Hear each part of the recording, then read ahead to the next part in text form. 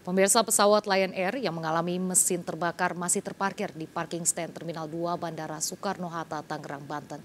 Pada saat terjadi gangguan mesin di udara, pilot membuang bahan bakar aftur cadangan sambil berputar menuju bandara untuk mencegah api semakin besar.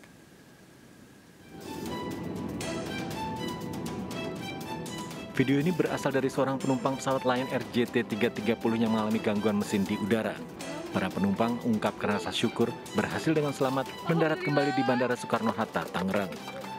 Pesawat Lion Air dengan nomor penerbangan JT330 rute Jakarta-Palembang terpaksa return to base atau kembali ke bandara asal Soekarno-Hatta, Tangerang. Pesawat mengalami kerusakan pada mesin sebelah kiri hingga mengeluarkan api. Keterangan pers maskapai Lion Air menyebutkan fase mengudara awal berjalan dengan normal, namun pada ketinggian 3.000 kaki, salah satu mesin pesawat terbakar. Pilot kemudian memberitahukan petugas ATC Bandara Soekarno-Hatta sambil membuang bahan bakar aftur untuk mencegah api semakin besar.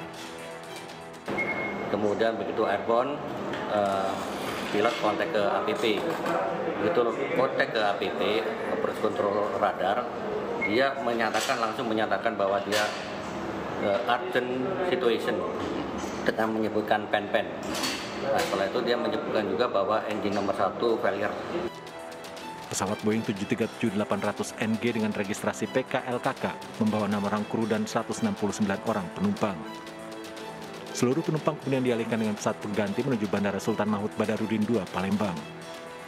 Peristiwa ini tidak berdampak pada penerbangan lain. Pesawat kini masih berada di parking stand Terminal 2 Bandara Soekarno-Hatta untuk menjalani perbaikan. Dari Tangerang, Banten, Hasnugara, iNews melaporkan.